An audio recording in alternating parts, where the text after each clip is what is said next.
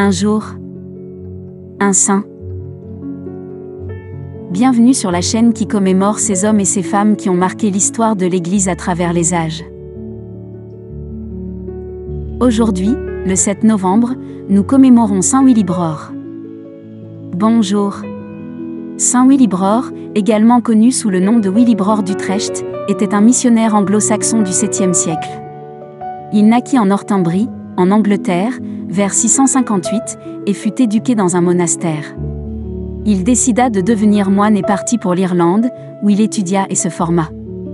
En 690, avec un groupe de moines, Willibrord fut envoyé par le pape pour évangéliser les régions des Pays-Bas et de la Frise, qui étaient alors païennes. Il établit un monastère à Utrecht, où il devint le premier évêque. Sa mission fut couronnée de succès, et il convertit de nombreuses personnes au christianisme. Saint Willibrord est également connu pour avoir fondé d'autres monastères et pour sa dévotion envers l'éducation et l'évangélisation. Voici une prière adressée à Saint Willibrord. Saint Willibrord, apôtre des Pays-Bas et de la Frise. Toi qui as porté la lumière de l'Évangile dans des terres païennes, nous nous tournons vers toi en ce jour. Intercède pour nous, au Saint Willibrord, auprès du Seigneur, afin qu'il nous accorde la grâce de témoigner de la foi chrétienne avec zèle et dévouement, et d'être des instruments de sa lumière dans notre propre temps.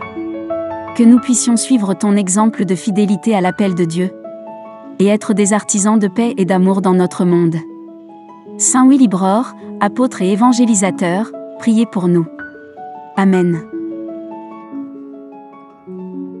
D'autres saints sont aussi commémorés ce jour. Sainte Gertrude de Remiremont, Saint Prosdocimus. Nous vous les présenterons dans nos prochaines vidéos. Bonne fête à tous les natifs de ce jour. Nous vous donnons rendez-vous demain pour un nouveau saint.